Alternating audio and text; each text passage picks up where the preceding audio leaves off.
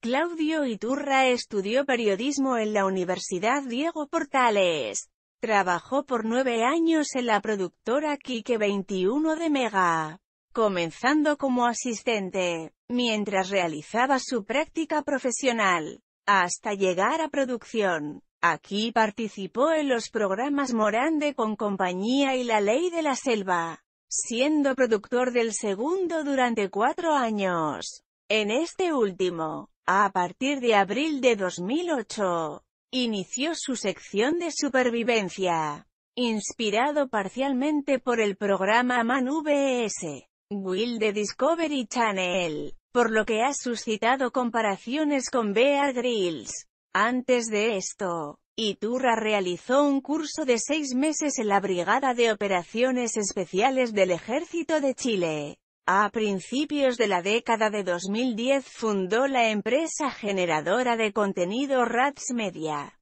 junto al periodista Gonzalo Feito, para comercializar sus documentales. En 2011 participó en el programa de telerrealidad Año Cero como el encargado de realizar pruebas extremas para los participantes. En 2012 realizó notas para el programa Sinvergüenza de Chilevisión.